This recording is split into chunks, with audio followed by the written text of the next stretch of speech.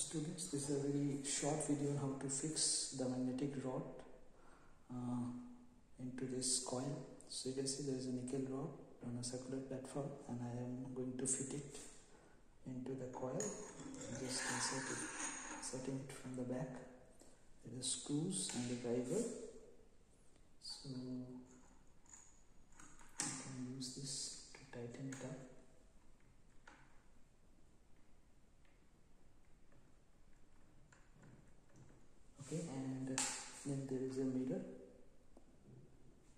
to fix it the front.